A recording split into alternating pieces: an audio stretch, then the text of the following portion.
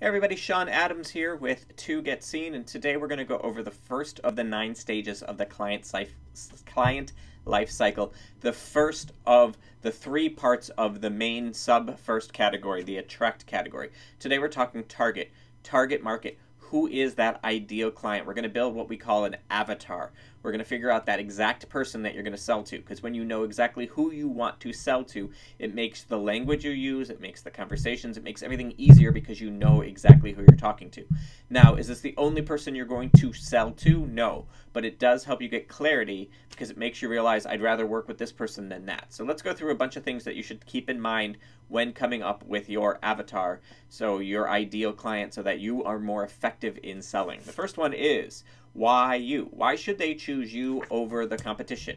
What is it that makes you unique? What problem do you solve? What pain do you solve? How are you going to help them with whatever it is that you help them with? And why is it that they should choose you over anybody else who might be able to help them with that? Important to keep that in mind.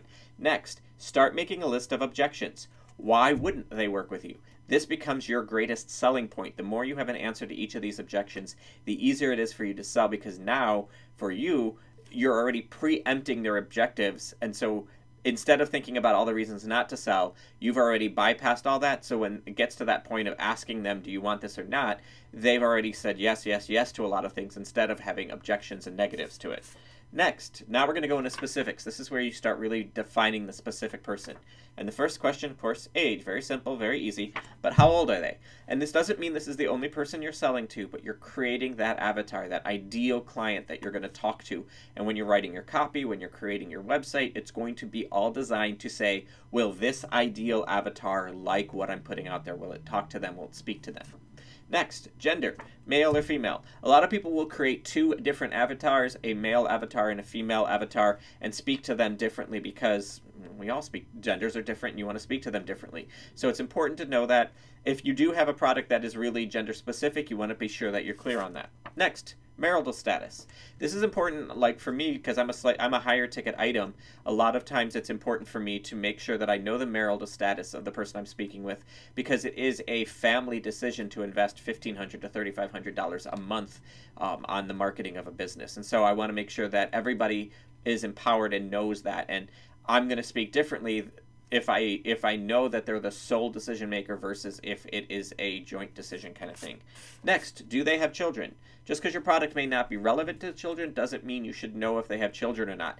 It changes the dynamic. Do they want to spend more time with their kids? Do they not have time on the weekends because they're running around? Do they only have 8 to 5? Whatever it is, you got to know kind of what their life looks like outside of whatever you're helping them with to be able to make sure that you've created the right system. Children are a huge part of that. Next, income. How much money do they make? Can they afford you? Can they is this within their price range? You need to know how much they're making so that you can speak to them as well. Next thing, education. Education is important as well. You're going to speak to people differently if they have a college degree versus somebody who doesn't have a college degree. It doesn't mean that they're better, it doesn't mean they're smarter, it doesn't mean any of that. It just means you're building this concrete concept of who this mythical perfect person is because everything is going to go towards that.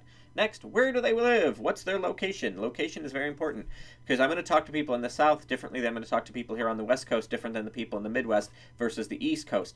It's all that people have different personalities, different communications, and you can get really finite. People in Boston are very different than people in New York. People on the east side are very different than the west side, whatever it might be. You really want to know that location clean, clear, specific. Here in the Bay Area, are do they live in the city? Do they live in the East Bay? Do they live in the peninsula? Do they live in the South Bay? Uh, do they live over the hill? All these things matter. North Bay, people are unique and different. Where's that ideal client? How are you going to speak to them? figure out where they're at because that's going to have an effect on kind of who they are. Next, what are their hobbies? What do they do for fun? Because that's where that conversation, getting them to know you, building that know, like, trust factor all plays into effect. And then the last one of the specific pieces is values. What are their values? What's important to them? This could be religious, spiritual, whatever it might be. Um, are they very passionate about the environment? So then you want to make sure you're not sending them stuff that's a lot of paperwork. You want to be able to give them digital stuff because they want to save the trees, kind of thing. you want to know what their values are. You want to be able to speak to them very, very effectively and intelligently. I have a client who is a chiropractor who works with churches very heavily in the Christian faith. So I'm, I'm very intentional in using language in that. I'm using my theology degree and communicating with him. I can pull out some of that knowledge and we can have those deeper discussions. It's part of what got him to say, Yes, I want to work with you. It's building that know, like, trust factor. Now, once you have this ideal avatar, one or two, you really don't want more than two, and you've really, really refined it. The other thing you want to do is come up with the not ideal. Who is your not avatar? Who's the person you don't want as a client?